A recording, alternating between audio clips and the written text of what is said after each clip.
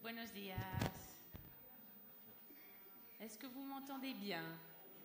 Oui? Même au fond? Parfait? Impeccable? Qu'on on va juste devoir apprendre à, à régler le, le bon niveau sonore pour qu'on s'entende bien et que ce soit confortable pour tout le monde. Il est 10h11, nous sommes le 20 juin, la veille de l'été.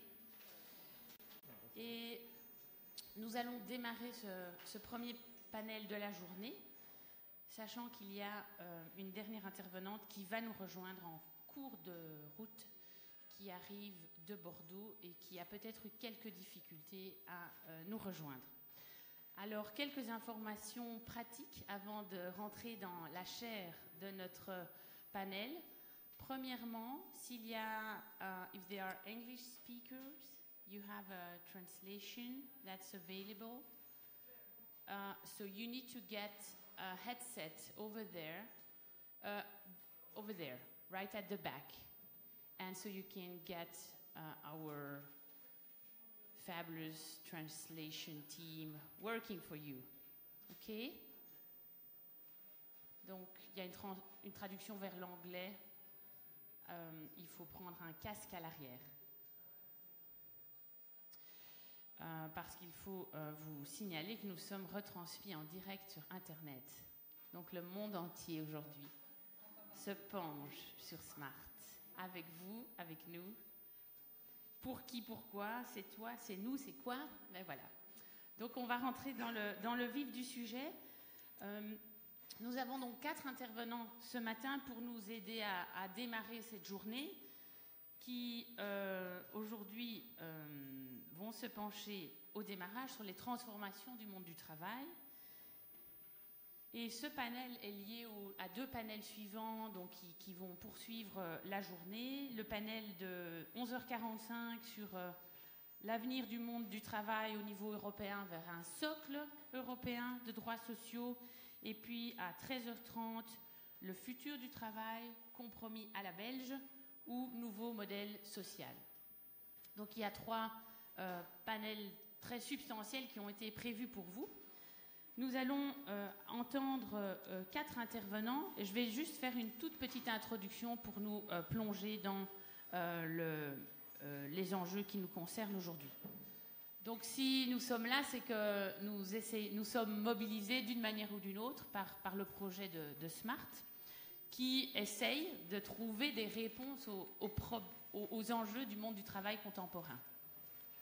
Et Smart euh, est euh, en train d'expérimenter depuis bientôt 20 ans des formes euh, nouvelles, audacieuses, qui peuvent être et qui doivent être discutées de accompagnement des transformations en cours. Ces transformations peuvent aller dans deux sens, soit poursuivre le, le projet, disons, de long terme d'une de long terme d'une subordination du travail, c'est-à-dire de traiter le travailleur comme un subordonné, quelqu'un de rang inférieur, qui n'a pas la capacité, qui n'a pas euh, le droit à l'autonomie, c'est-à-dire autonomos, se donner, participer à se donner ses propres règles dans une dimension individuelle et collective. Ça, c'est le projet capitaliste, pour le dire vite, de louer de la force de travail pour le mettre euh, au service d'un projet dont le travailleur n'a pas la capacité à peser. Puis il y a une autre voie, qui est la voie que les sciences sociales ont appelée la voie de l'émancipation, c'est un grand terme, mais qui essaye de trouver les moyens de mettre les personnes qui travaillent en position de peser sur les conditions de leur vie au travail, les finalités qu'elles poursuivent. Et Smart s'inscrit dans ce projet-là avec, je pense, il faut, il faut bien prendre ça en considération, un rapport, euh, un rapport disons, euh, ambitieux au changement social. C'est-à-dire qu'effectivement, face aux changements qui sont euh, ceux auxquels on fait face aujourd'hui, on peut soit se lamenter, soit baisser les bras. Et certains, certainement, au niveau individuel, ont beaucoup de raisons de baisser les bras. Mais en tout cas, au niveau collectif, il est impératif qu'on essaye de se donner des moyens pour penser le changement d'une manière ambitieuse vers la transformation des conditions actuelles qui euh, maintiennent les personnes au travail dans des situations de subordination qui sont euh, délétères au niveau tant individuel que collectif. Donc aujourd'hui, dans ce premier panel de la matinée, on va avoir différents éléments. La situation, elle est très complexe. Les changements auxquels nous faisons face se, se jouent à tout niveau, que ce soit de la transformation vraiment de l'expérience même du travail, alors que nous sommes dans une économie de service et plus dans un monde industriel tel que nous l'avons connu, jusqu'aux transformations du modèle de protection sociale dans des sociétés qui sont devenues transnationalisées, globalisées, euh, en tout cas ouvertes euh, sur, euh, euh, sur le monde. Donc je vous annonçais quatre intervenants. Nous allons euh, écouter Frédéric Nadounen, maître de conférence à l'Université de Liège en gestion. Ensuite, Bruno Roulans, le secrétaire général de la Confédération européenne des coopératives industrielles et de services, dont Smart est membre. Philippe Defeit, économiste, membre de l'Institut du développement durable et ancien président de CPAS à la ville de Namur. Et enfin, Isabelle Dogaret, professeure de droit à l'Université de Bordeaux, qui va donc nous rejoindre en cours de route, je l'espère, pour elle et pour nous. Chaque intervenant aura 10 minutes et cela nous permettra ensuite de conserver une demi-heure pour échanger réponses, interrogations, critiques, euh, questionnements. L'enjeu n'est pas aujourd'hui de terminer toutes ces questions en un seul panel. Oui? Oui, pardon, je ne me suis pas présentée, effectivement, vous avez raison.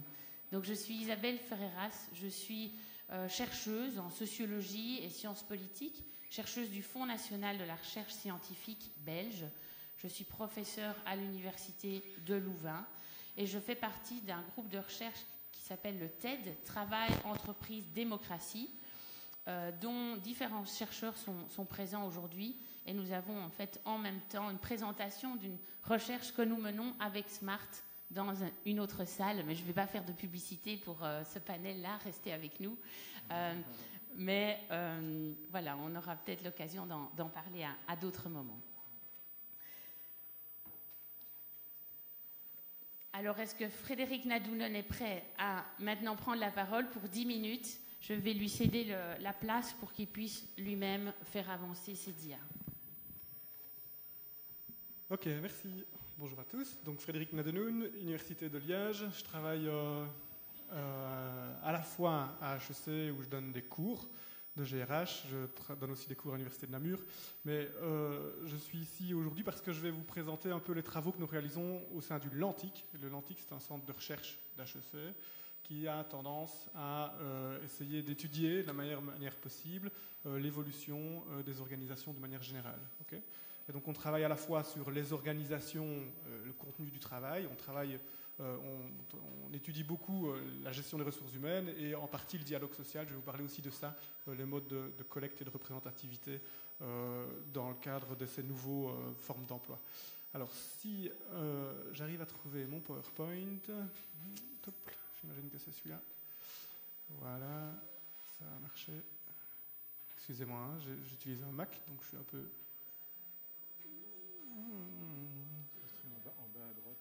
Ben, il n'y est pas justement. C'est en bas à droite. C'est ça? Ouais. Mais non. Oui. Attendez.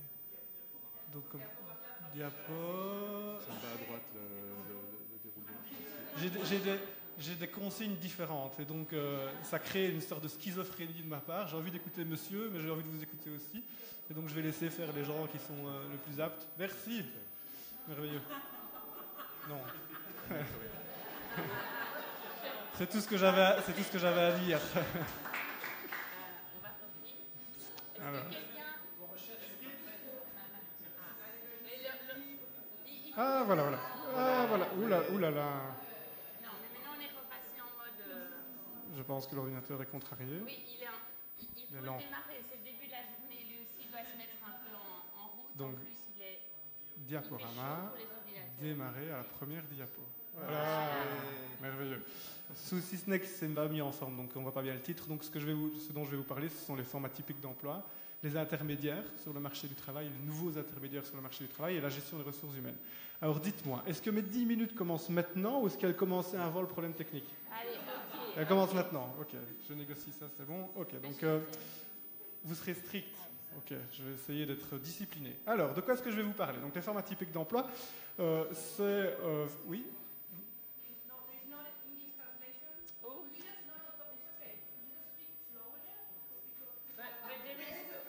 I need 15 minutes. If I speak slowly. I is there no English translation? No.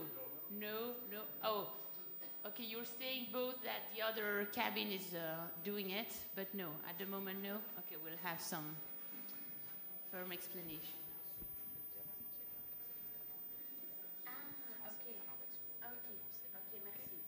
Okay, so I made a mistake. Het is in het Nederlands. Dat er is vertaling in het Nederlands. Oké, so sorry for the English, it's Dutch. But so, uh, so we're going to speak slowly in French. On va essayer de parler en articulant très bien pour que ce soit un bon exercice euh, de compréhension. Ok? D'accord. Donc, euh, quand on parle d'emploi atypique, de format typique d'emploi, que veut-on dire? Il y a plusieurs manières de le considérer. La première manière de le considérer, c'est de se dire que l'emploi atypique, c'est tout ce qui n'est pas le CDI à temps plein. Ok? Cela dit, est-ce que c'est vraiment neuf? Est-ce que le CDI à temps plein est la forme normale et qu'il y aurait ces nouvelles formes émergentes? Euh, qui seraient euh, nouvelles, donc le CDD, le temps partiel, l'intérim, le travail indépendant Bien entendu, non. Euh, le travail atypique a toujours été présent. Ce que l'on constate aujourd'hui, c'est une évolution de ces formes atypiques d'emploi.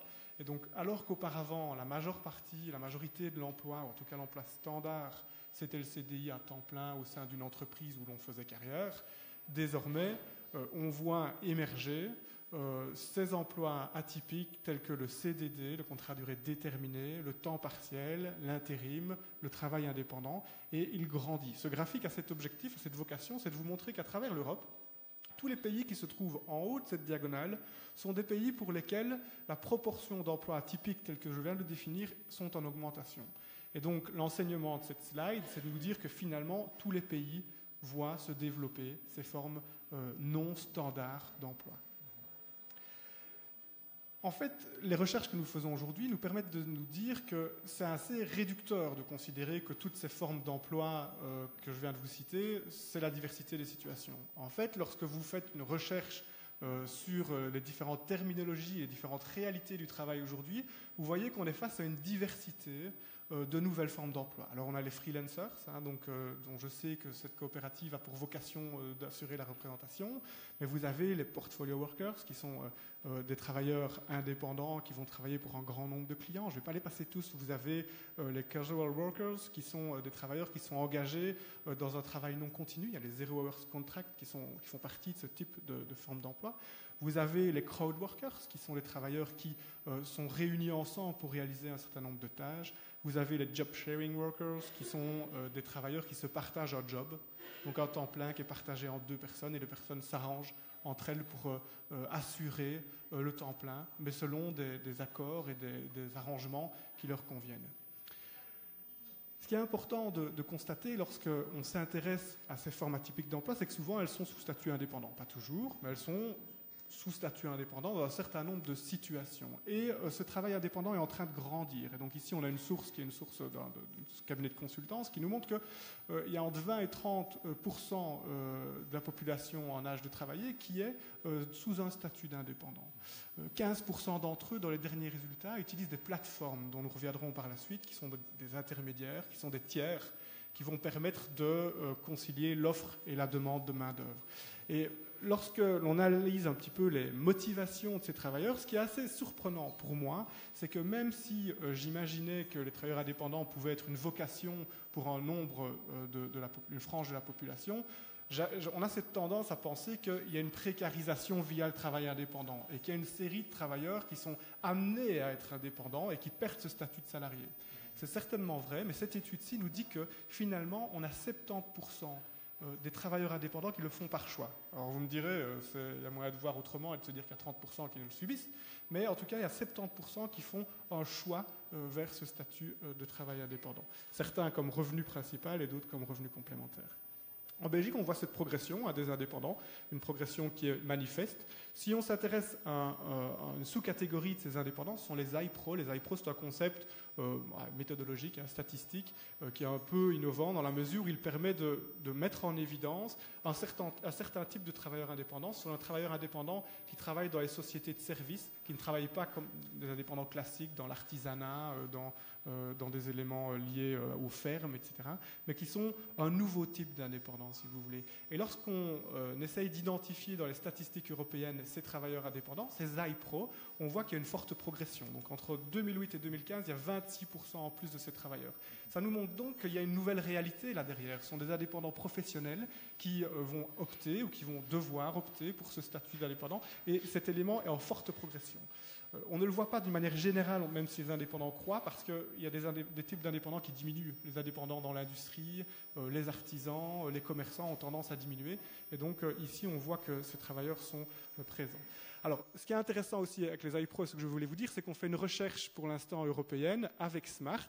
Et donc là, c'est la minute de communication et de marketing. On a une enquête que nous aimerions que vous remplissiez euh, là derrière. Et donc, c'est très important pour nous d'avoir l'avis de ces travailleurs euh, que vous êtes. Euh, si vous êtes dans une situation d'indépendance, alors on s'intéresse aux indépendants statutaires, mais aussi aux gens qui considèrent être indépendants. Et donc, l'idée de, de, ne pas considérer qu'on est dans un lien de subordination nous intéresse aussi, même si on est sous le statut salarié. Donc voilà, si vous voulez bien après compléter l'enquête, ça nous serait très utile. Alors, on voit euh, également les Moonlighters. Vous savez ce que c'est les Moonlighters?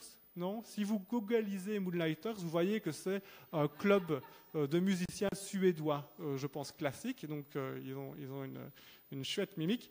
Mais euh, si on s'intéresse au marché du travail, les Moonlighters, c'est plutôt ça. Hein. donc ce sont des travailleurs qui vont multiplier les activités et ou qui vont avoir une activité de travailleurs euh, indépendants complémentaires. Et donc ce qu'on voit en Belgique, c'est que ça varie beaucoup, mais il y a une forte progression euh, de l'évolution de ces travailleurs Moonlighters, donc ces travailleurs qui ont une multiple activité. On voit donc bien qu'on est sur un phénomène où quand même on s'écarte du CDI temps plein auprès d'un seul employeur. Alors, euh, j'ai l'impression que ça bug un peu. Je vais passer directement aux intermédiaires sur le marché du travail. Ce qui est intéressant de se dire, c'est que parallèlement à cette évolution de, la manière dont on travaille, on voit que des intermédiaires sur le marché du travail euh, se développent ou apparaissent. Alors on a l'intermédiaire classique qui est l'intérim, qui a ses avantages pour l'employeur, qui en offre peut-être moins pour le travailleur, quoique, hein, donc on ne va pas rentrer dans le débat. Mais on voit aussi un certain nombre de nouveaux intermédiaires sur le marché du travail qui émergent. Smart n'est pas nouveau, mais selon nous, il est, innovant, hein, donc il est, atypique, et nous l'étudions beaucoup au sein de notre centre de recherche. Vous le connaissez, vous en faites partie. Il y a aussi Diez, qui est une autre structure de portage salarial, où on va, euh, par, par ce biais, aider ces indépendants à avoir un certain nombre de droits, une certaine protection, et donc passer par Smart, passer dans certains cas par Diez, ça permet finalement d'obtenir le statut salarié alors qu'on est dans une activité d'indépendant. Ça permet donc de, concilier la volonté de liberté et la sécurité qu'offre notre cadre légal euh, classique. Il y a aussi euh, d'autres structures qui sont les, sociétés de body shopping. Les sociétés de body shopping, surtout dans l'informatique, sont les structures qui mettent en relation des informaticiens avec des entreprises clientes. Ce qui est intéressant, c'est que j'ai rencontré des travailleurs qui passent par du body shopping et certains me disent ben, parfois je passe par une structure qui prend 10%, parfois je passe par une autre qui prend 20%. Ah oui, pourquoi est-ce que vous prenez celle qui prend 20% Vous devriez aller chercher celle qui en prend 10%. Non, non, non. Celle qui, offre, qui, demande 20%, elle m'offre des services elle crée un réseau, elle fait un soutien, elle m'offre des locaux. Et donc on voit que ces intermédiaires, ils vont essayer de reconstituer euh, le, lieu classique d'emploi qu'on avait auparavant, en recréant euh, des collectifs. Et ça, c'est quelque chose qui nous semble très intéressant à étudier. Est-ce que vous savez ce qu'est ceci? Deux minutes. Est-ce que vous savez ce qu'est ceci? Ceci, c'est le turc mécanique. C'est quoi le turc mécanique? C'est une fable du, je pense, XVIIe siècle où, euh, dans une foire, quelqu'un qui se disait turc disait J'ai une machine qui permet de jouer aux échecs, entre autres choses. Et en fait, c'était une arnaque. Il y avait un personnage qui était dans la boîte et qui faisait bouger les pions de l'échec. Euh, Mechanical Turk, c'est euh, un nom qui a été adopté par Amazon, qui, il y a une dizaine d'années, a créé un autre type de plateforme, qui est une plateforme qui euh, va mettre en relation des informaticiens, principalement, avec des clients. Et on va travailler sur une plateforme mondialisée et ça va être parfois au moins 10 ans. Et donc vous allez être en concurrence avec euh, un informaticien chinois, euh, indien, que sais-je. Ce qui est surprenant, c'est que certaines études sur le sujet montrent que les travailleurs ne se sentent pas complètement lésés par cette situation-là. Alors qu'on pourrait se dire, tiens, c'est quand même très précarisant, c'est quand même euh, une détérioration des, des conditions de travail et du contenu du travail, vraisemblablement. Ce n'est pas forcément le cas. Ce sont des nouvelles plateformes qui apparaissent pour créer des besoins nouveaux et qui euh, sont soutenues par le développement des nouvelles technologies et l'Internet, évidemment. hein. Et donc, ces nouveaux intermédiaires sur le marché du travail, ils vont avoir tendance, certains d'entre eux en tout cas, à euh, faire en sorte de euh, mettre des parcours professionnels sécurisés. Pas Amazon, mais les groupements d'employeurs, Smart, les coopératives d'emploi sont des structures qui potentiellement vont soutenir ces travailleurs indépendants dans leur cheminement chaotique euh, désormais chaotique, ou en tout cas beaucoup moins euh, pépère qu'auparavant. Alors, euh, j'ai bientôt fini. Je voudrais juste dire quelques mots sur les challenges RH. Donc, moi, je travaille à HEC, je donne cours de gestion des ressources humaines, donc je, m'intéresse au sujet. Donc, je me dis, mais finalement, lorsque vous êtes un responsable RH et que vous avez dans votre entreprise des gens qui sont salariés classiques, des gens qui sont indépendants classiques, des gens qui sont salariés de sociétés de consultance, des gens qui sont intérimaires, comment est-ce que vous allez gérer euh, cette diversité de situations Il y a trois manières, il y a trois enjeux différents. Il y a les enjeux face à la diversité des statuts, où là, il faut essayer de, de travailler avec ces intermédiaires, dont travailler avec Smart. Il y a des exemples où on voit que Smart, par exemple avec Deliveroo, hein, c'est très connu, vous connaissez tout ça, euh, Smart a joué le rôle d'intermédiaire pour créer euh, une relation euh, plus équilibrée entre les travailleurs et ces plateformes euh, de l'ubérisation, comme on dit. Vous devez, avec ces intermédiaires, essayer de se dire, mais dans quelle mesure est-ce que l'intermédiaire permet de créer une sécurité d'emploi? Vous devez également faire en sorte de gérer ces travailleurs qui ne sont pas uniquement chez vous, quel que soit leur statut, mais qui sont également sous d'autres statuts, dans d'autres emplois, et qui doivent donc concilier un temps de travail qui n'est pas extensible euh, à, à, volonté. Il y a également cette idée dont je ne pourrais pas m'apesantir, mais sur les quasi-syndicats, les quasi-unions, qui sont finalement, il reste 30 secondes, qui sont, qui sont euh, finalement une nouvelle réponse à la, à la nécessité d'avoir une défense collective. Donc les travailleurs auparavant, classiquement, ça appelle au syndicat. Hein. On se rend compte que les syndicats répondent très peu à ces nouveaux travailleurs. D'abord parce que leur statut interdit, par exemple, d'accueillir des indépendants, mais aussi parce que finalement c'est très étranger de leur logique de fonctionnement.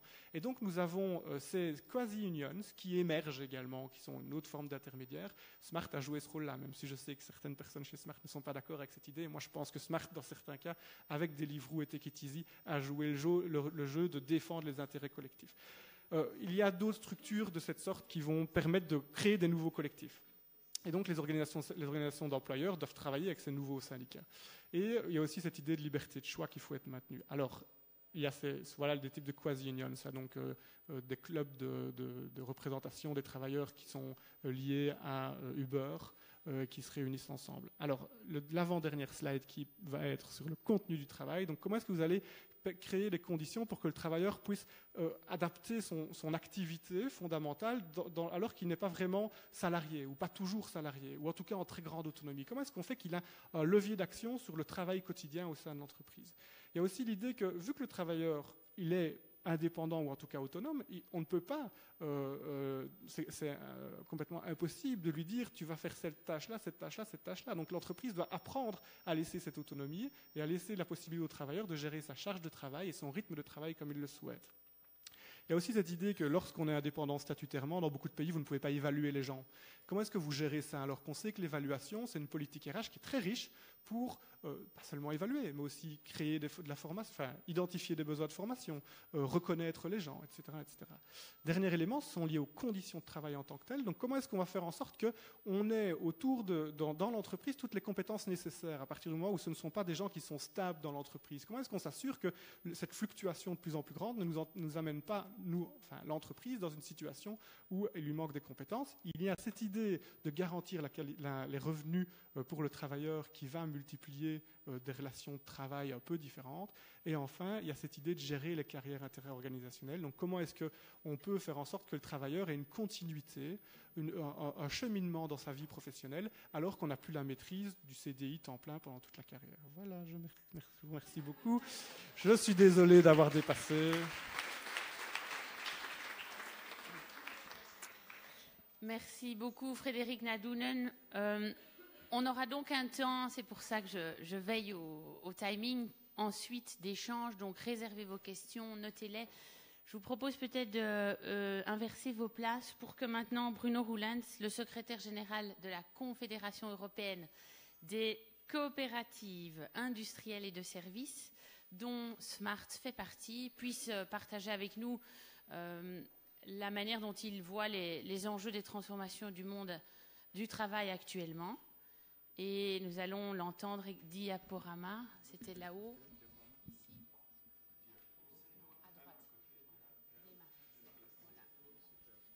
Et nous allons vous entendre également pour 10 minutes.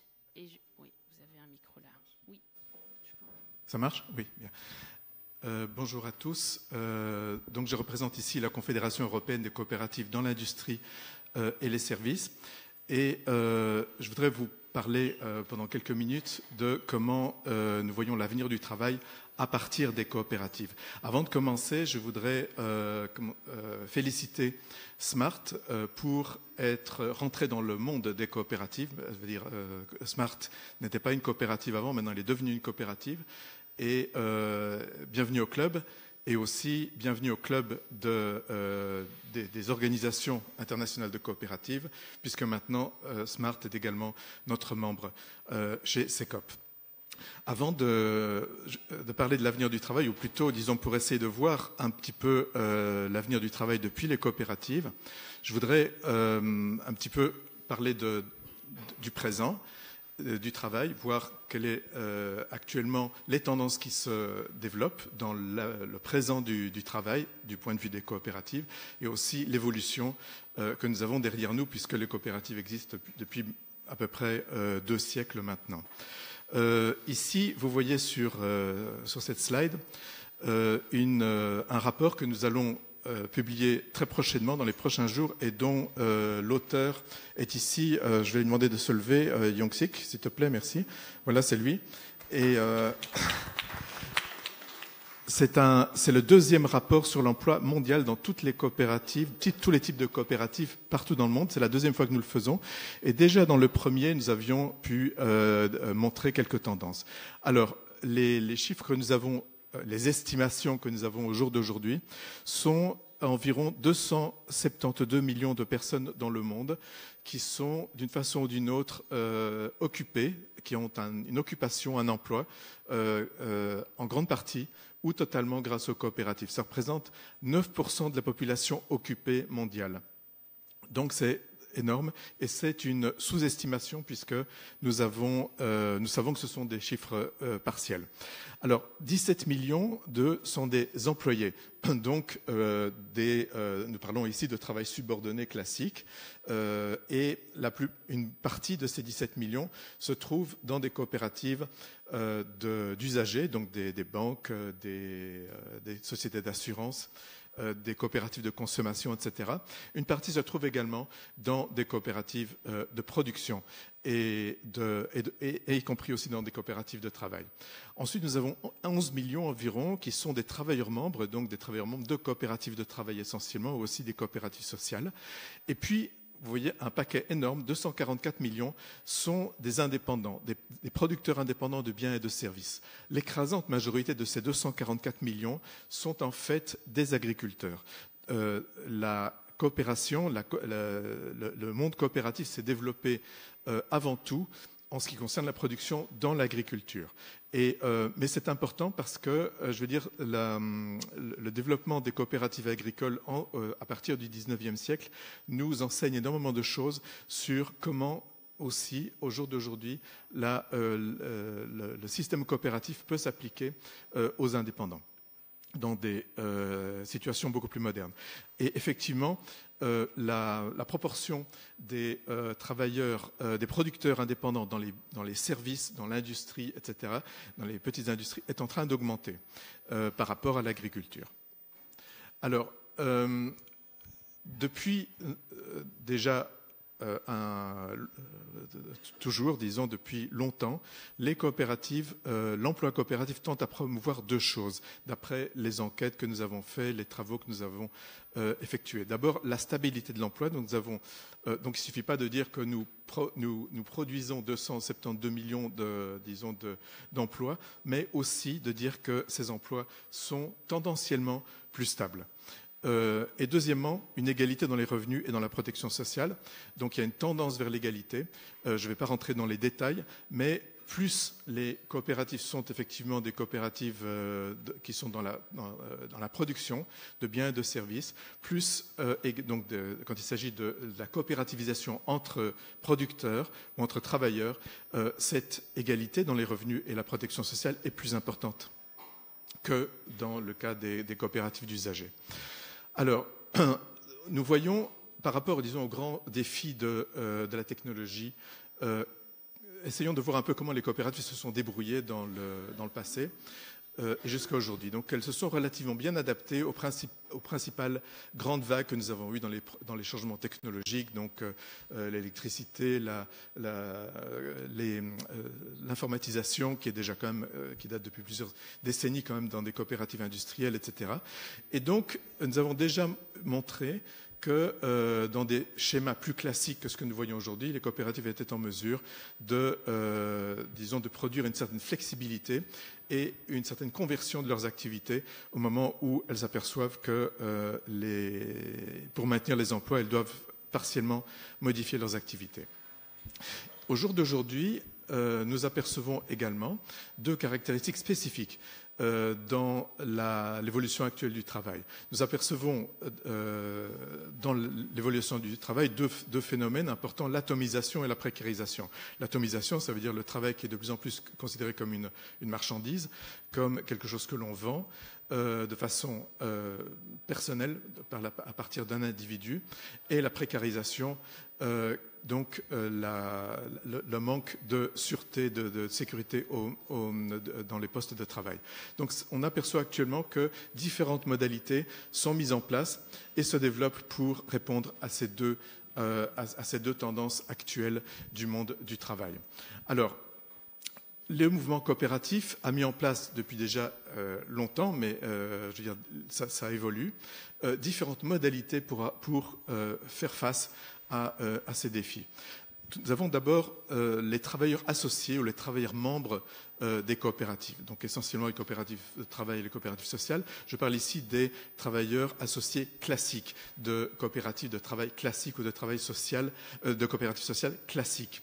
Donc ici, nous parlons d'une entreprise où effectivement il n'y a plus de, de relation de travail subordonnée et où les travailleurs travaillent dans une même activité de production de, de biens ou de services. Nous avons ensuite des indépendants regroupés en coopératives. Ici encore, je parle d'indépendants classiques, genre des taximens, euh, des artisans, euh, comme d'ailleurs euh, les, agriculteurs que nous avons vu poindre déjà à partir du XIXe siècle. Donc c'est plutôt dans cette lignée-là. Et cela est en train de se développer très fort actuellement aujourd'hui. Les freelancers, donc là plutôt le, le freelancer par rapport à l'indépendant classique, étant donc une personne qui est dans des, activités plus de high pro, comme on a dit euh, précédemment, et aussi qui sont euh, souvent avec moins de, clients. Donc il y a souvent donc, euh, le, scénario dans lequel on est avec un, deux, trois clients, peu de clients, et donc où la coopérative va jouer un rôle d'interface avec, avec, avec ses clients. Ensuite, nous avons les intérimaires regroupés en coopératives. Donc, on a parlé précédemment donc, de, des nouvelles formes d'intermédiation du travail. Et donc, nous avons des intérimaires qui sont regroupés en coopératives.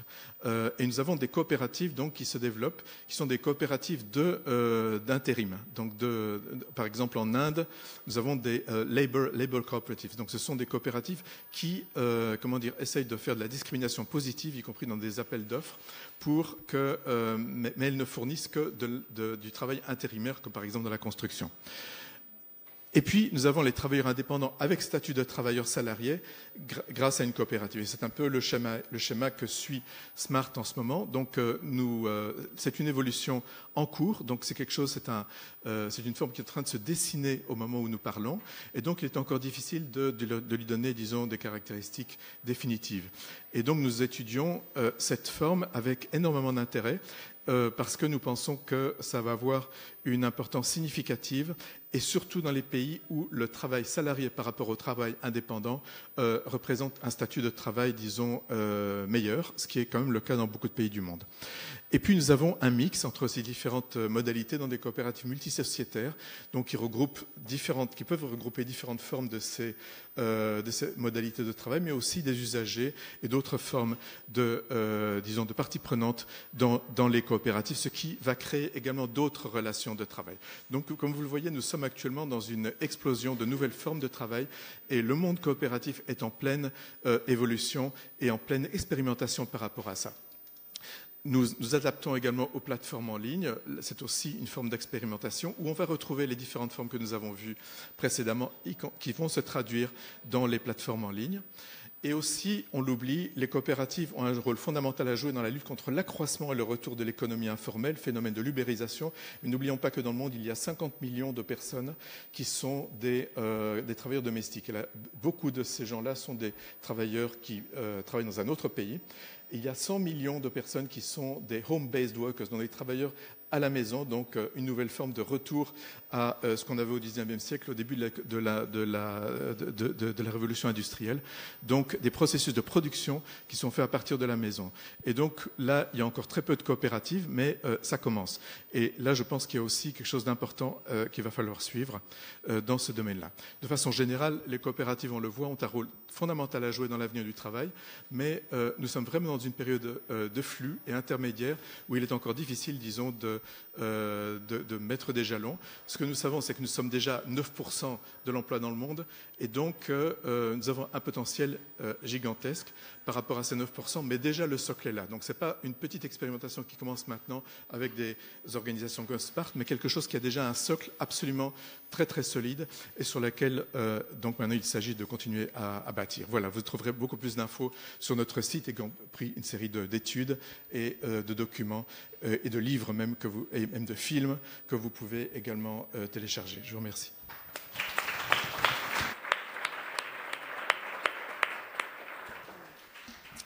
Merci beaucoup Bruno Roulans. Alors, à présent, nous allons écouter notre troisième orateur, Philippe Defeit, qui est économiste à l'Institut du développement durable et aussi, euh, parmi de nombreuses responsabilités, ancien président du CPS de Namur. On lui a demandé d'évoquer aussi la situation des plus précarisés par rapport au marché du travail. Euh, Philippe, euh, tu, peux parler de ta place, en fait, puisque tu n'as pas de dia, et prendre le, micro qui est là.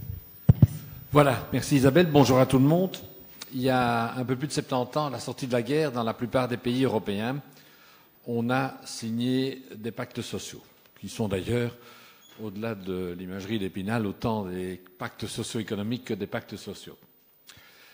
Euh, on a du mal à imaginer ce que ça peut représenter, ces pactes sociaux. Vous imaginez toutes, toutes, toutes, toutes les forces vives d'un pays, les forces philosophiques, les forces politiques, les forces syndicales, les employeurs se mettent d'accord sur un mode de fonctionnement de la société qui va assurer notre prospérité pendant plus de 50 ans. Sur quoi repose cette prospérité? C'est très simple. Ces deux idées qui aujourd'hui, euh, on se demande si euh, elles existent encore quelque part. Les gains de productivité doivent être partagés de manière non seulement équitable, mais efficace sur le plan économique. C'est l'image des deux jambes, des deux pieds le pied social renforce le pied économique et réciproquement. Et l'autre idée encore plus extraordinaire, cette conviction chevillée dans l'esprit de beaucoup de personnes que dans le partage des gains de productivité, il faut en faire un peu plus pour ceux qui sont en bas d'échelle des revenus. Ces deux idées-là, on a l'impression qu'elles ont disparu du paysage. Tout ça, c'est fort bien, euh, mais on ne va pas continuer à vivre avec des représentations un peu mythiques Parce que le problème, évidemment, c'est que tous les présupposés de ce pacte, de ces pactes sociaux, ils ont tous évolué et ne sont plus ceux de 44, de 45 ou de 46, ça dépend, les pactes ayant été signés à des dates différentes. Alors on peut faire la liste de ces différences. Il y a les aspects d'abord, tout ce qui, je dirais, euh, les mœurs, euh, les évolutions sociétales, notamment les ménages, la cohabitation, etc. Euh, il y a 40 ans, les choses étaient simples. Les gens étaient mariés, ça duré 40 ans, ils, vivaient, oui, on pourrait marier, ils vivaient là où ils étaient domiciliés, ils étaient domiciliés là où ils, étaient, où ils vivaient, et il y avait en général un statut, un statut socio-économique dans le ménage. On parlait d'ailleurs de ménage d'indépendants, de ménage d'agriculteurs, de ménage de commerçants, de ménage de fonctionnaires, etc. Tout ça n'existe plus. Aujourd'hui, il n'est pas rare aujourd'hui, d'abord la cohabitation, ça ne veut plus rien dire aujourd'hui, euh, quand il faut commencer à la mesurer de manière concrète. Et puis, il n'est pas rare aujourd'hui qu'il y ait plusieurs statuts dans le même ménage, et je ne vais pas revenir sur ce que Frédéric a dit, qu'il y ait plusieurs statuts dans le chef de chacune des personnes des ménages. Rien que cela va nous obliger à reconsidérer les choses. les pactes sociaux sont aussi extraordinairement binaires. On est l'un ou on est l'autre. Aujourd'hui, comme président de CPS, j'ai rencontré euh, au cours de ma présidence quelques situations absolument extraordinaires, inimaginables. Des gens qui ont trois revenus, un peu de salaire, un peu de chômage et un complément de revenus d'intégration. Comment est-ce qu'on gère ça? Mais plus encore, comment est-ce que la personne gère ça dans ses choix de vie? Et quelles sont les conséquences de ce genre de statut euh, de, l'évolution de chaque personne sur les revenus des autres membres du ménage. Tout ça, évidemment, était hors propos quasiment à la sortie de la guerre. On a aussi, est dans une logique de parcours, donc binaire, j'ai dit, mais aussi linéaire. Tout ça se succède, hein, et il n'y a pas d'ambiguïté. Aujourd'hui, il n'est pas rare de rencontrer des personnes qui ne savent pas s'ils vont dépendre du régime d'invalidité ou du régime du chômage. Vous vous rendez compte de la violence extraordinaire d'une société qui est incapable de dire à quelqu'un, même si on mobilise tous les juristes possibles et imaginables, qui est incapable de dire à quelqu'un simplement de qui allez-vous dépendre en termes de caisse de sécurité sociale. Et puis je pourrais continuer, mais je pense que les autres orateurs l'ont fait euh, assez bien, et en tout cas mieux que moi. il y a d'abord la question du sens du travail. On a remplacé la fierté du travail par des interrogations existentielles sur ce que je fais et à quoi je sers. C'est une évolution incroyable en termes de vécu. Il y a aussi la complexité du monde. Et là, j'aimerais juste faire une petite incise qui me semble importante. Dans le courant 68 et après, on est revenu avec l'idée. En fait, le problème, c'est que les travailleurs retournent chez eux avec un problème de charge mentale lié au travail. C'est vrai, mais je pense de plus en plus qu'il y a des tas de travailleurs qui arrivent au boulot avec une charge mentale qui est liée à la complexité et à la difficulté de la vie quotidienne, à commencer par les parents qui doivent élever seuls des enfants. Et que ça joue au moins autant que dans l'autre, euh, sens. Dernier élément, et puis il y, en a d'autres, hein. dernier élément que je veux souligner, c'est cette évolution extraordinaire, c'est qu'il y a des gens aujourd'hui qui sont exclus de tout travail possible, quasiment de manière définitive.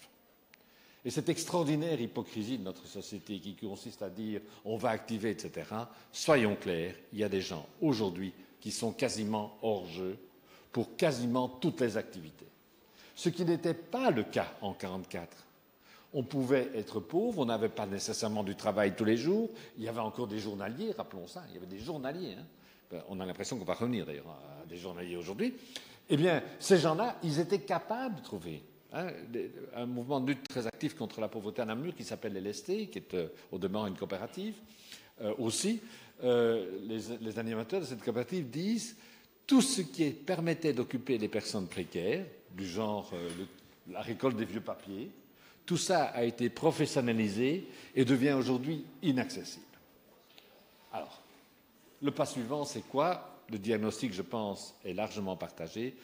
Le pas suivant, c'est que contrairement à l'impression qu'on peut avoir, je pense qu'on est en train de préparer de manière rapide, inconsciente, un nouveau pacte social. Il est là. Il est dans les limbes. Il est là. Il faut maintenant que les gens dépassent un petit peu leur précaré. Euh, j'étais hier à un débat euh, dans un grand syndicat et un des responsables de ce syndicat disait devant cette troupe, il y a des gens que nous ne connaissons pas dans la société. Hein, il parlait en particulier des artistes et il disait ça de manière extraordinairement honnête.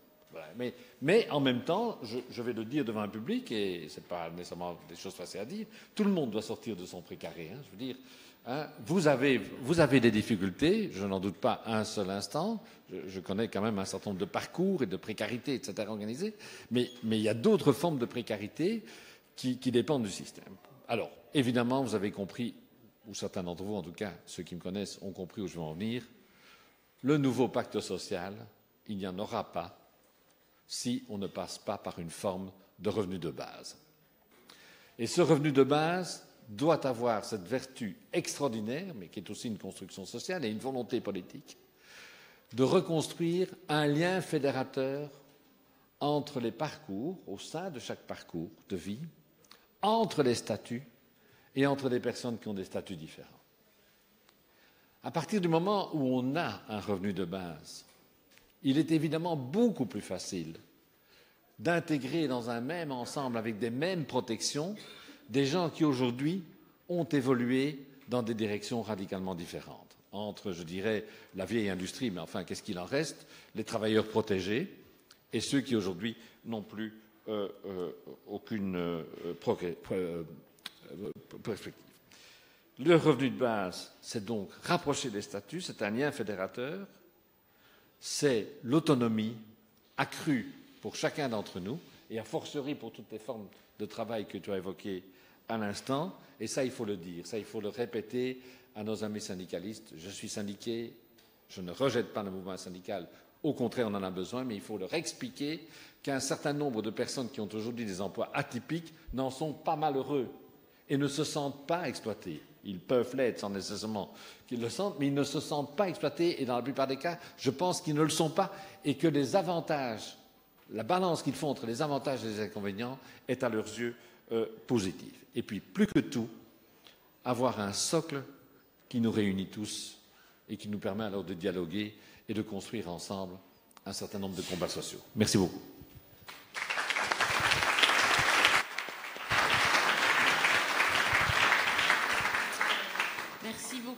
de fait pour euh, tout cela, y compris la concision. Alors maintenant, nous avons le plaisir d'accueillir donc Isabelle de Gareil, qui est arrivée de Bordeaux. Isabelle de Gareil est professeure à l'Université de Bordeaux dans sa faculté de droit. Et je vais lui céder la parole pour 10 minutes également. Merci euh, Isabelle. Euh, oui, alors donc je suis juriste. Vous allez comprendre ma difficulté c'est que euh, les juristes adorent la binarité. On est salarié ou on n'est pas salarié. On est dans un individuel ou on est dans un collectif. Je veux dire, le, en droit, et les situations intermédiaires, les flous, les gris, les zones grises, les ombres, eh ben, euh, c'est compliqué à intégrer dans le droit. Euh, néanmoins, pour autant, des choses avancent aussi dans le droit. Hein. Donc ça a déjà été dit et redit ici. Euh, je suis donc juriste de droit social, plus précisément de droit du travail. Euh, je connais aussi un peu la, sécurité sociale. Euh, je voudrais rappeler que le droit du travail, donc qui s'applique exclusivement au travail salarié aujourd'hui, cette situation d'aujourd'hui n'était pas du tout ce qui était prédit ou prédictible euh, à la fin du XIXe siècle et même euh, au début du XXe siècle. C'est en fait un fruit, le fruit d'un long processus où, en effet, entre la multiplicité des statuts et la bataille entre le statut de travailleur autonome indépendant et celui de travailleur salarié, c'est le contrat de travail qui a gagné la bataille. Et il se trouve qu'aujourd'hui, ce contrat de travail, donc, qui se caractérise par un lien de subordination juridique, c'est-à-dire une dépendance, pas tellement économique d'ailleurs, plutôt une dépendance euh, euh, psychologique, organisationnel, etc., avec l'employeur qui a le pouvoir de décision, d'organisation. Donc c'est une dépendance qui a des relents très disciplinaires, hein, puisqu'elle est associée un pouvoir disciplinaire à cela. Euh, bien évidemment, ça, ça, attaque de plein fouet les questions de liberté individuelle et collective, parce qu'il y a des incompatibilités entre discipline et liberté. Euh, surtout lorsque cette discipline est une discipline qui est conçue dans une organisation collective de masse, l'entreprise fordienne, etc. C'est une discipline très dure. Hein. Euh, il n'empêche qu'il euh, y a d'autres formes de discipline hein, qui se dessinent et qui se dessineront sans doute et qui existent déjà aussi avec les nouvelles formes de travail. En tout cas, donc, on a qu'est devenu le droit du travail aujourd'hui, c'est le résultat d'une bataille qui aurait pu donner autre chose. De même que pour la protection sociale, nous avons, il a été évoqué la, difficulté pour des gens aujourd'hui, et encore plus pour demain, de savoir de quelle caisse ils vont relever, c'est aussi le fruit d'une histoire. C'est que quand même, au lendemain de la Deuxième Guerre mondiale, il y a quand même eu la grande interrogation, en tout cas en France, est-ce qu'on ne pourrait pas passer enfin à un régime unique qui permettrait de créer une solidarité, quels que soient les statuts et quelles que soient les professions? Mais les lobbies euh, politiques, corporatistes, euh, ont fait que on est toujours avec cette kyrielle de caisse. Mais ce n'est pas le destin ad vitam aeternam. et donc, ce que je voudrais dire d'emblée, c'est que ce qu'est aujourd'hui le droit, c'est le résultat de compromis politiques et d'une longue histoire sociale et politique économique. Et qu'il y a dans le droit, même si les juristes et le droit est très formé de manière binaire, il y a quand même l'idée de la réversibilité possible. Hein. C'est-à-dire que euh, la réversibilité des normes, mais aussi la réversibilité de l'interprétation des normes. Hein. Euh, l'interprétation par le juge, c'est-à-dire qu'on peut avoir des normes, des lois euh, qui sont interprétées différemment par le juge au regard de l'évolution des circonstances et des contextes.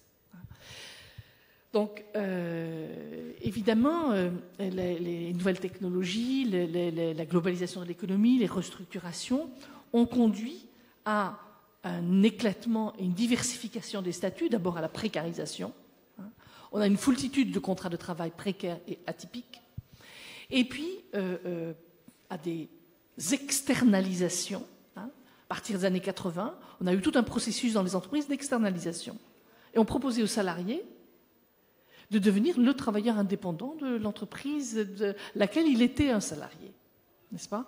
Avec la jurisprudence euh, ici et ailleurs sur les requalifications, évidemment, de la relation de travail lorsque survient un accident du travail. Et ça, c'est aussi un troisième point qu'il faut garder à l'esprit quand euh, on travaille avec le droit, c'est que le droit euh, pense à la question du risque et pense donc à la question de la responsabilité. Et qui dit risque et responsabilité dit évidemment créancier et débiteur euh, euh, d'une obligation de protection, voire de sécurité.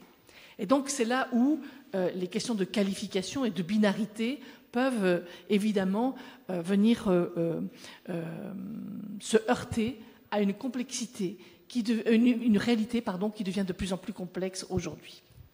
Mais on nous a donné l'exemple des coopératives que je connais très bien parce que ma première recherche, il y a bien longtemps, c'était sur les coopératives ouvrières de production. Je suis fille de paysans coopérateurs euh, dans le sud-ouest de la France, au Pays Basque, et euh, euh, en effet, les coopératives, c'est le modèle du XIXe siècle qui est resté marginal, qui est marginal, mais qui a su combiner ces doubles statuts d'indépendants et de salariés voire même de, statuts intermédiaires. Euh, je, pense notamment au statut en Espagne euh, des coopératives euh, de production.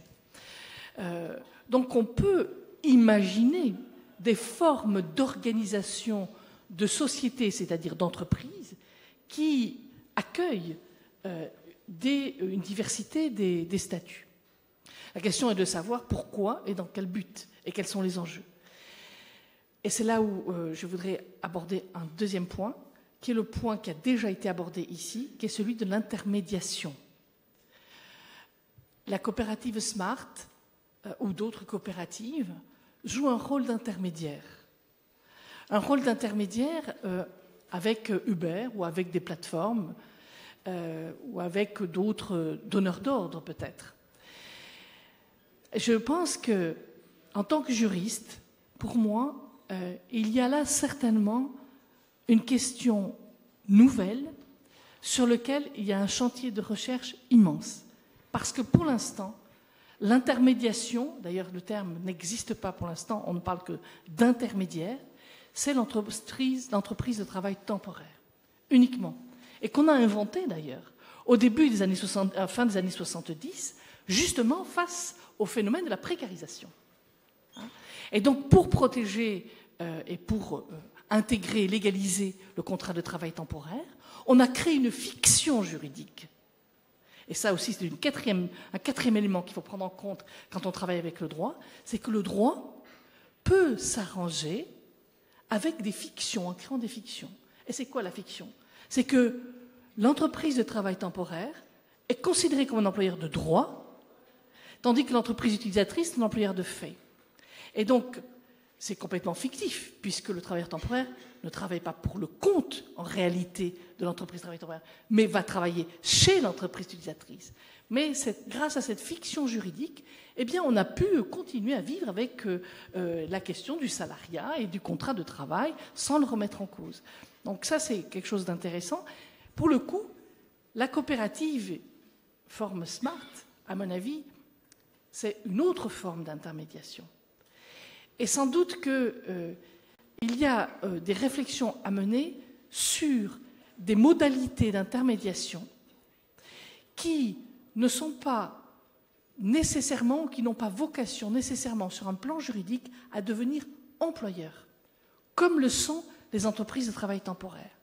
Peut-être que ici, l'intermédiation, c'est d'abord finalement de constituer un collectif qui n'est pas une organisation syndicale, mais qui est un collectif en fait qui fait écran vis-à-vis d'une plateforme, vis-à-vis d'un donneur d'ordre, pour défendre tel ou tel intérêt du collectif euh, que représente cette organisation intermédiaire. Et donc ce statut-là de collectif intermédiaire, qui n'est pas un employeur, qui n'est pas un sous-traitant, etc., et qui n'est pas une organisation syndicale, peut-être euh, aurions-nous intérêt pour euh, réfléchir et aller de l'avant sur cette question à aller voir les travaux des historiens du droit et des historiens du travail. Euh, on commence à avoir quelques travaux, ils sont encore très rares, où on nous raconte comment, au XIXe siècle, ce qu'on appelait les fabricants, qui fabriquaient rien du tout d'ailleurs, chez les tisserands étaient des intermédiaires entre les travailleurs à domicile qui euh, filaient et qui faisaient de, travaux de textile et le, commanditaire. Et ces fabricants, en fait, euh, avaient juste pour rôle de défendre le prix. Et donc je crois que là, il y a quelque chose à inventer sur l'intermédiation comme nouvelle forme de collectif, d'organisation collective pour défendre des intérêts. Alors, quels intérêts? Il y a bien sûr le prix, c'est-à-dire le revenu, ce qu'on en d'autres lieux, avec un autre statut, on appelle le salaire, euh, mais aussi euh, euh, peut-être défendre des temps de travail. On a parlé de la question de la santé. la question de la santé au travail demeure et, sans doute le grand point noir, la grande zone d'ombre de ces travailleurs ubérisés, digitalisés, euh, parce que là, euh, euh, il y a aussi des, questions à mener. Bref, je crois que la, question donc, de la représentation est quelque chose qu'il faut travailler et qui est la question à résoudre, une des grandes questions à résoudre avec ces nouvelles formes de travail. Parce qu'on l'a bien vu déjà avec les, travailleurs Uber, lorsqu'ils ont eu un problème, eh bien, ils ont créé un collectif pour attaquer Uber, pour aller devant le juge. Euh, ça veut dire que c'est la collectivisation de l'intérêt, euh, des intérêts individuels, est un passage obligé y compris quand on est un travailleur indépendant ou un freelance.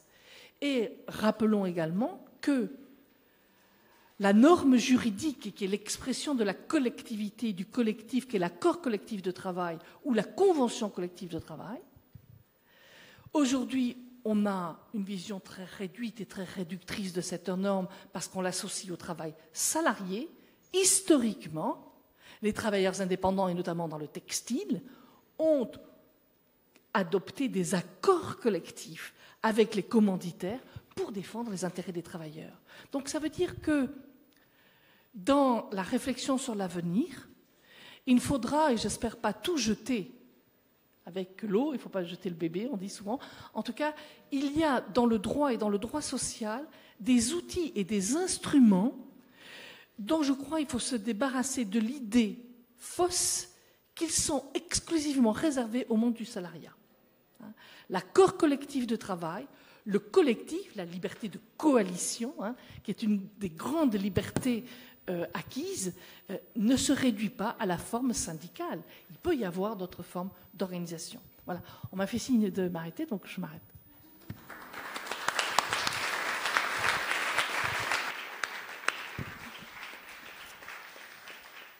Merci beaucoup Isabelle Dogaré. C'est passionnant, mais effectivement, euh, merci à chacun d'avoir tenu les délais pour que nous puissions maintenant euh, avoir 20 minutes d'échange et terminer à l'heure pour que l'ensemble de la journée puisse se poursuivre dans des bonnes conditions.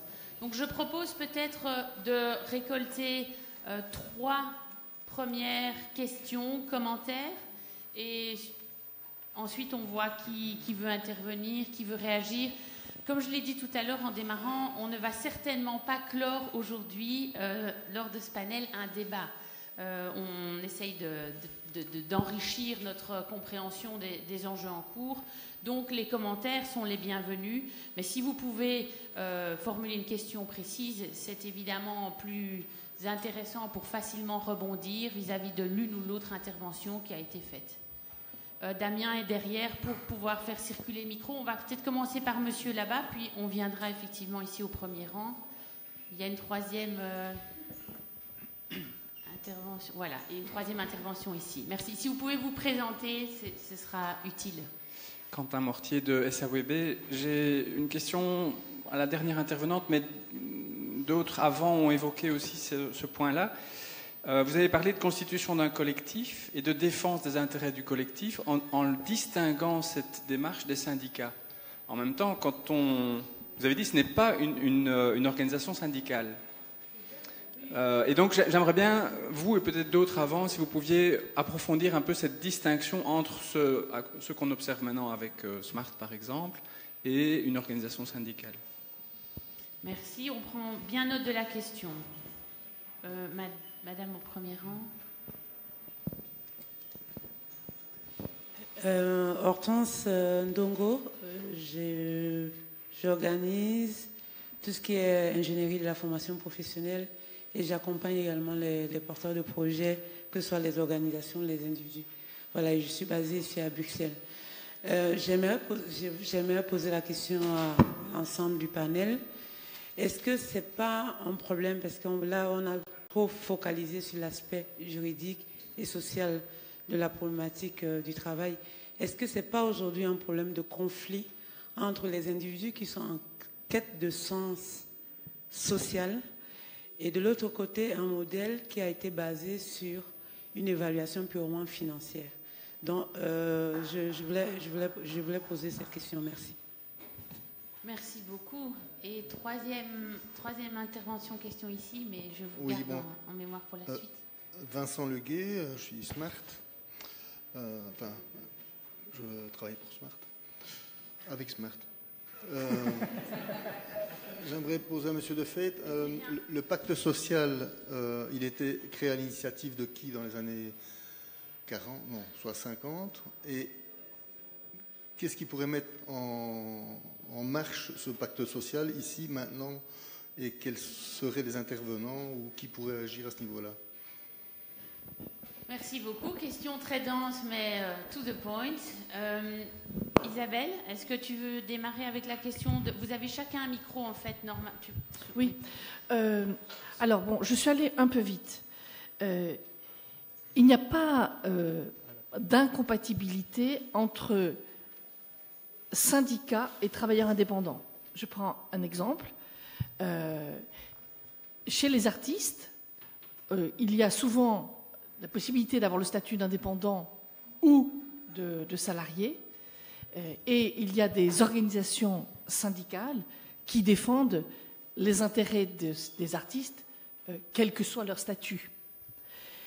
Mais je pense que, en fait, quand je parle d'intermédiation type coopérative, smart, euh, j'y vois en fait euh, des choses pas, pour l'instant très précises, mais quelque chose qui est un peu différent du syndicat. Euh, parce que j'y vois une dimension économique euh, qu'il n'y a pas dans l'organisation syndicale, à mon sens. Euh, c'est-à-dire que lorsque je parle d'intermédiation, je m'excuse, je ne suis pas très claire parce que pour l'instant, euh, on n'a pas beaucoup réfléchi à cela, mais il s'agirait, ça tirerait plutôt vers une forme d'entreprise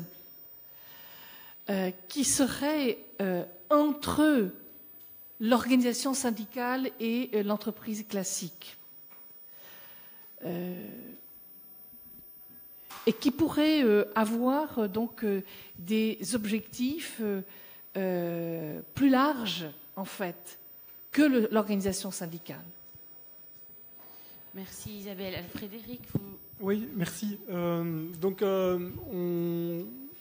ce qu'on constate, c'est qu'en Belgique, les organisations syndicales représentatives des travailleurs euh, ne euh, défendent pas les travailleurs sous statut indépendant. Donc c'est dans leur statut, euh, a priori, ils n'ont pas, ils ne peuvent pas adhérer, prendre comme adhérents des travailleurs indépendants. Alors, ce que je sais, c'est qu'il y a énormément de discussions internes pour l'instant. Moi, je, le côtoie et je travaille, entre autres, euh, pour les syndicats dans certains cadres de, projets de recherche-action. Et euh, on voit bien qu'ils se posent des questions. Parce que vu que l'emploi qui, progresse aujourd'hui, comme je le disais tout à l'heure, est l'emploi atypique, euh, dont l'emploi indépendant, de plus en plus on est dans des situations où le syndicat n'a aucune proximité avec ce type de, travailleurs. J'étais à une, activité qui avait été co-organisée par Smart sur les coopératives pour faire face à l'ubérisation et pour faire, un collectif de travailleurs de l'économie euh, de plateforme. Et une des questions qui a été posée, c'était qui est délégué syndical dans la salle Il y avait 200 personnes, il n'y avait pas un seul délégué syndical. Et qui était affilié d'un syndicat? Il y a eu peut-être six mains qui se sont levées. Donc ça montre bien que les syndicats ne sont pas là, ils ne sont pas présents, ou en tout cas pas assez présents, euh, dans une frange de plus en plus large de la population euh, au, travail. Et donc on voit qu'il y, a cette réflexion de leur part pour s'ouvrir à cela. Alors il y a à côté de ça des, des quasi-unions qui sont récents ou pas récents, il y en a qui sont pas récents du tout, comme par exemple la Fédération des journalistes. Euh, l'agence des journalistes. Ce n'est pas, un syndicat en tant que tel, parce que c'est corporatiste et donc la loi leur dit qu'ils ne peuvent pas être des syndicats. Néanmoins, ils défendent les travailleurs journalistes en freelance, les pigistes. Et donc c'est très intéressant à étudier parce que eux arrivent, et c'est une question que vous aviez évoquée, ils arrivent à créer des conventions collectives de travail qui s'intéressent aussi aux travailleurs indépendants. Et donc où l'employeur va signer une convention qui va euh, s'appliquer aux travailleurs salariés comme la loi le prévoit, mais qui va aussi inclure les travailleurs indépendants à la différence près que ça n'a pas de force légale, c'est-à-dire que c'est le fruit de la bonne volonté de l'employeur de dire je considère les indépendants comme des salariés.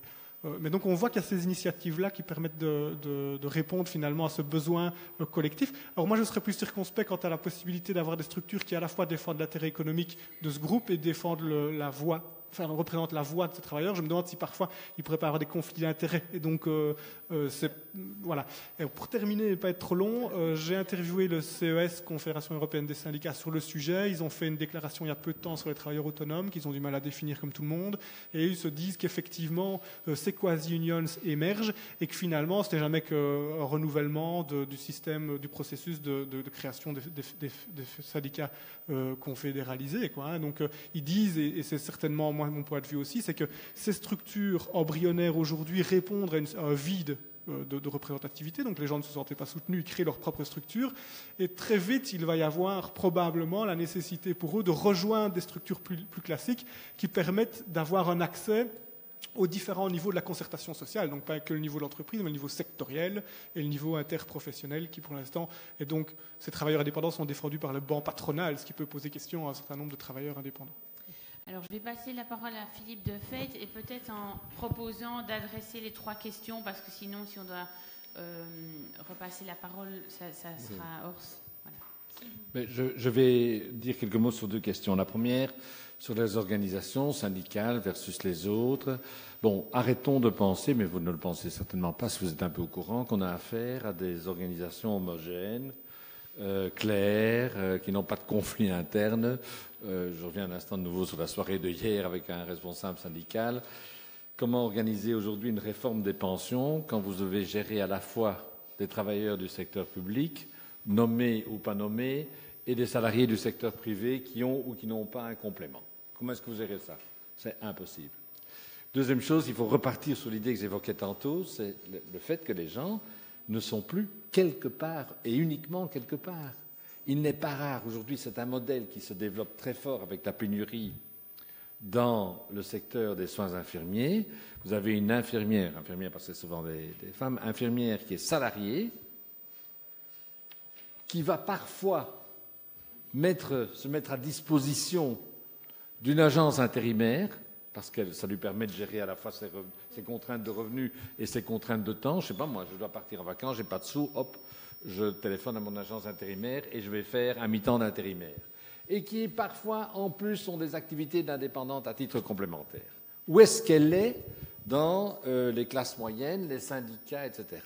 Donc, moi, je pense que l'évolution, et je te rejoins entièrement, l'évolution inévitable, mais souhaitable, c'est qu'on va avoir des grappes d'associations qui vont traverser les statuts, qui vont s'occuper des métiers plus que des statuts.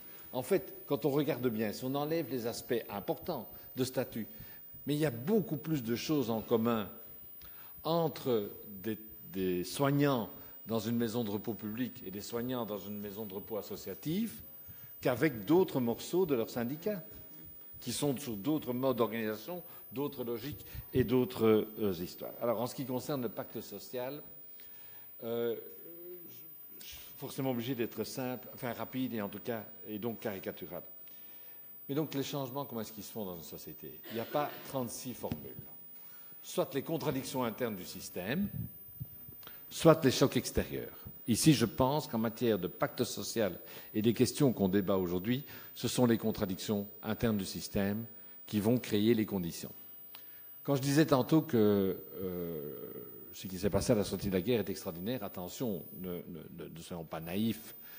Le pacte social était avant tout une nécessité historique en fonction de l'évolution, et il est né après une longue évolution où, pendant des années, par exemple, on débattait au Parlement, tiens, dans le fond, les allocations familiales, si on en donne, est-ce qu'on en donne aussi aux veuves?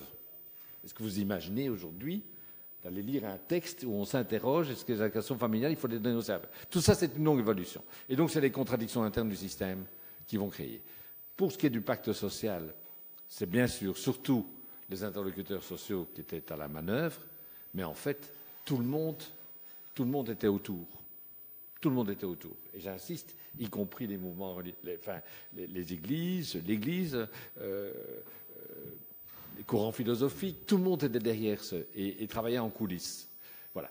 Et donc la question, ça, ça peut paraître très naïf, voire complètement décalé. Est-ce qu'on pense vraiment qu'on peut avoir aujourd'hui un consensus pour reconstruire un deal entre tous les travailleurs, y compris donc les indépendants, Hein, ce qui est toujours un problème. Moi, je pense aujourd'hui qu'il y a plus de proximité entre les petits indépendants et certains travailleurs salariés qu'entre les petits indépendants et les professions libérales. C'est un euphémisme quand je dis qu'il y a plus de liens. Voilà. Et, donc, c'est le problème de l'union des classes moyennes a autant de problèmes à gérer ces contradictions internes et ces intérêts internes que euh, Smart ou qu'un syndicat. Voilà. Quelques éléments forcément rapides. Merci Philippe. Bruno Roulans aussi sur les trois questions éventuellement Oui. Euh, tout d'abord, concernant les rapports entre les syndicats et les coopératives, je voulais dire qu'au-delà des contradictions internes euh, aux syndicats, et nous en avons aussi les contradictions internes aux coopératives, nous sommes deux types d'organisations complètement différentes et complètement complémentaires. Euh, nous avons euh, dans beaucoup de pays du monde des rapports excellents avec les syndicats, parfois pas aussi excellents, mais je vais dire, nous avons, des métiers complètement différents et complémentaires. Le syndicat est une organisation de représentation des travailleurs euh, et n'a pas vocation à exercer des activités économiques.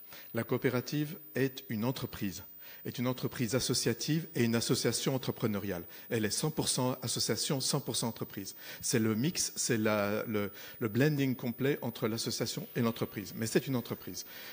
Euh, donc, donc, forcément, nous sommes amenés à avoir, disons, d'autres types d'activités. Et donc nous résolvons la définition de la coopérative le dit elle-même, nous résolvons les problèmes des gens, euh, des citoyens, par, euh, disons, par l'activité entrepreneuriale. Euh, nous le faisons aussi en nous adaptant au statut existant. Donc la coopérative, donc il y, a une, différence entre les statuts existants et les, formes intrinsèques dont j'ai parlé euh, avant. Donc nous avons des formes intrinsèques qui vont pouvoir se traduire dans différents statuts euh, d'indépendants, de, travailleurs, salariés, etc. Ensuite, par rapport au la, question que vous avez posée, qui est devant moi. Donc, euh, il, y a, deux aspects. Un, évidemment, bien entendu, disons, les questions de l'avenir du travail, ce n'est pas unique. Il y a deux aspects, un aspect technologique et un aspect qui est redistributif et qui est lié effectivement à des problèmes, disons, de, à une question de, euh, disons, d'évolution financière, économique euh, des, des, grandes chaînes de production et de, redistribution, etc., au niveau global. Donc, c'est évident qu'il y a une logique redistributive qui est absolument fondamentale et c'est là aussi où les coopératives ont quelque chose d'important euh, à, faire. Mais alors la deuxième partie de la question, c'était sur la question du sens, la question du sens du travail. Et je pense que là aussi, il y a un travail énorme à faire, euh, à, découvrir. C'est, disons, l'évolution énorme qui a eu lieu sur deux siècles. Euh, le terme travail voulait dire labeur, voulait dire quelque chose de pénible. Et actuellement, ça donne un sens fondamental à la vie. La preuve en est que se multiplient les suicides des gens qui ne trouvent plus un sens au travail. Et donc, nous allons là dans un champ absolument, disons, fondamental de société et où justement, et là nous l'avons aussi vu dans notre euh, précédent rapport sur l'emploi, celui de 2014 que vous pouvez trouver en ligne, nous avons travaillé sur la question de l'identité. Nous avons vu également que dans différents types de coopératives, dans différentes parties du monde. Nous sommes allés dans dix régions du monde et nous, avons trouvé qu'effectivement, indépendamment du type de coopérative, y compris chez les employés classiques, nous avons euh, quelque chose qui transparaît, c'est la question de l'identité. Et, donc, euh, les coopératives vont avoir tendance à fournir un type d'identité aux gens. Donc, les gens vont s'identifier plus facilement avec leur entreprise que d'une autre. Et donc, là, je pense que c'est aussi quelque chose où il y a une recherche fondamentale à faire parce que, euh, je veux dire, là, nous sommes vraiment dans un domaine qui va bien au-delà de la simple question du revenu et, du travail. Merci beaucoup, Bruno Roulins. Alors, on arrive tout doucement à la fin de notre euh, panel. Donc, je propose un dernier tour de d'assemblée. S'il y a euh, l'une ou l'autre question, monsieur, vous vouliez poser une question Damien, si tu veux bien venir devant. Euh, est-ce qu'il y a encore une autre question, un autre commentaire euh? Non, vous êtes très raisonnable. Merci. Si, mademoiselle au ben, premier rang. Ok, merci. Ma, question était la même que celle de monsieur, mais je voudrais la, relancer quelque part parce que j'aime beaucoup l'idée d'un nouveau. Jacques Debry Fébeco, j'ai oublié de me présenter. j'aime beaucoup l'idée d'un nouveau pacte social qui, en fait, traduirait à un moment donné en règle juridique euh, un nouvel état des choses qui couvrirait toutes ces nouvelles formes de travail, y compris euh, sous forme coopérative. Mais euh, moi, je ne, sens pas venir les conditions de ce pacte. Après-guerre, c'est évident. On avait passé cinq ans à se détruire, il fallait reconstruire. Le consensus, l'union nationale dans tous les pays se faisait naturellement. Et c'était effectivement un formidable moment de consensus qui a permis de construire quelque chose, mais aujourd'hui, je ne vois pas venir. Vous dites les contradictions internes du système. Je me demande quelque part si ça ne se passe pas que quand quelque chose quand même d'externe ou du travail même se passe, qu'il faut que quelque chose d'externe arrive. Est-ce que ça pourrait ça aurait pu être la crise économique de 2008 Ça n'a pas été le cas. En fait, euh, aux États-Unis, le New Deal, et, fait après la crise de 29.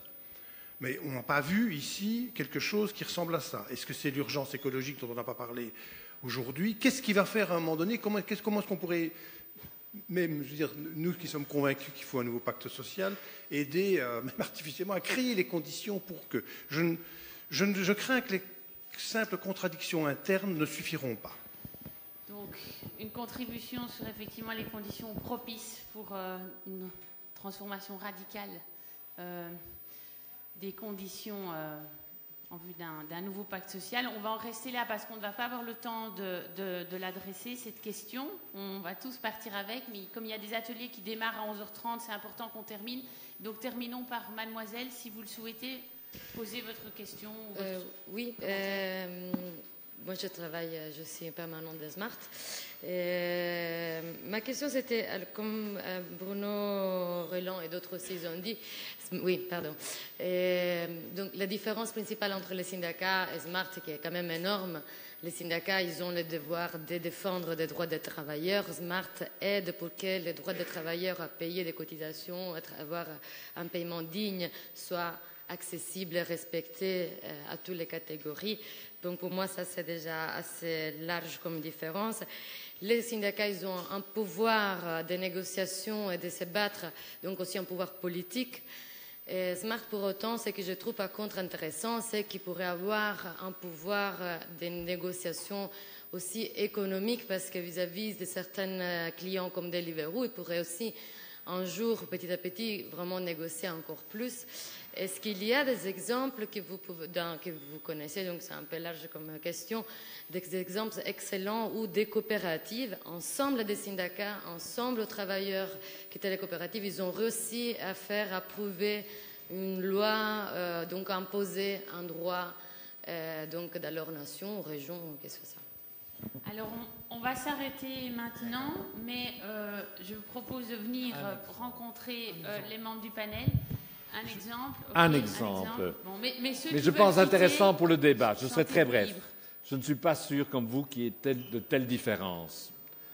Une permanente du secteur du grand commerce me disait Nous en sommes acculés aujourd'hui à devoir mettre dans les négociations collectives un temps de travail minimum.